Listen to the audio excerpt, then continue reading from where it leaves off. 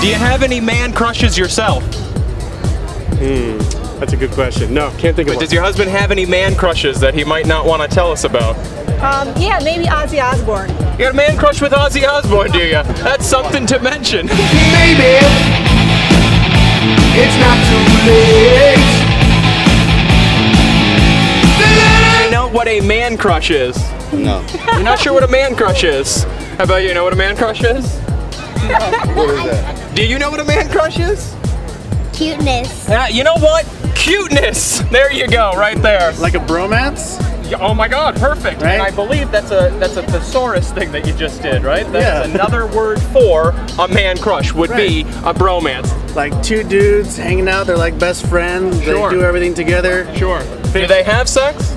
Uh, if they if they're into that thing, yeah, you know, if they're gay, yeah. Now I feel like this takes them out of the category of bromance or or man crush to just gay. Bromance it kind of is in its own category since they're just gross, but Right. I think man crush would still apply if they were gay.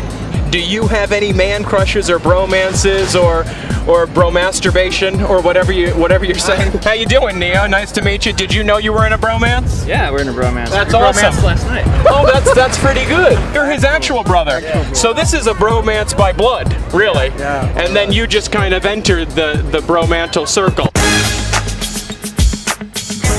Is what happened. All right, well, I think we're man crushed and all caught up. Thank you. That was perfect.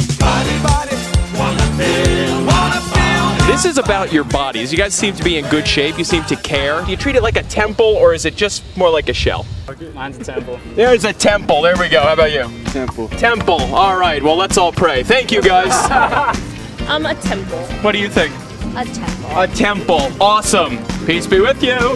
You're still here, so I figured we're in business. Well, I didn't want to be rude. I neither did I, so I just want to go right into it and not waste your time.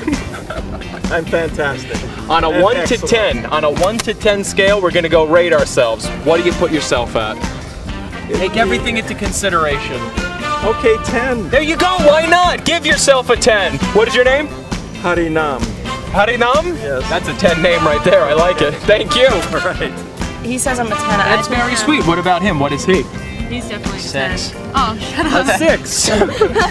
what are we talking about exactly? Uh, oh! There we go. Oh. There we go. We have a 10 and a 6. Well, 16 is good. That's a lucky number. This is going to work. Thank you. That's it. Awesome. Enjoy. Thank you.